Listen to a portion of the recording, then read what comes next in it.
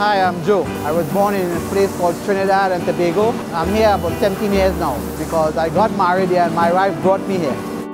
Hi, I'm Jasbir. I was born in India. Uh, I came to Canada for my better future and my kids. Hi, my name is Isaac. Uh, actually, I was born in Ghana, in West Africa, a, a, a city called Ashanti. I came here 1999 because I had a family here.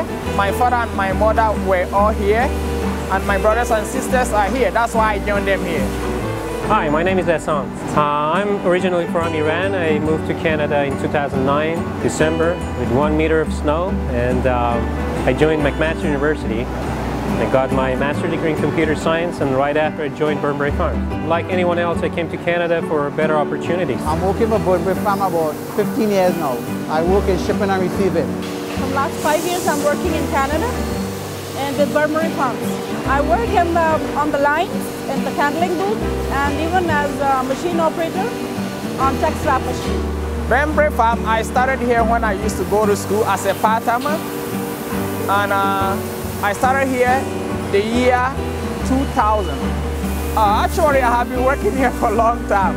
I've been working at Burnbrae Farms for the last eight years. I'm the manager of information technology, IT manager.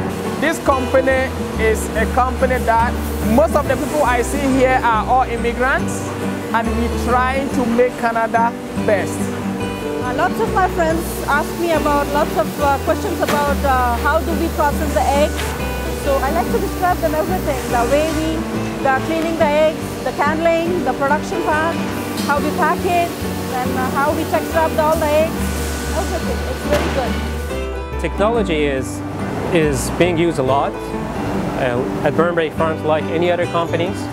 And uh, it's unbelievable when you get to the business, you can see that everything is based on technology now.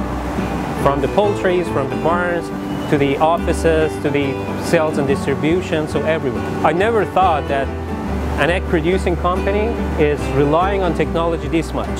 So I want to know all the Canadians know about it. Well, I love when they see the snow and the place is, is more brighter when it's snow. They just have to dress properly and goes out there because I love the cold. I just want to be a teacher, but when we talk here about each other, when somebody needs help with the newcomers, it's just like a teaching also so it's not advertising. I wish we will have more people to educate themselves by going to our website to check what we have for them.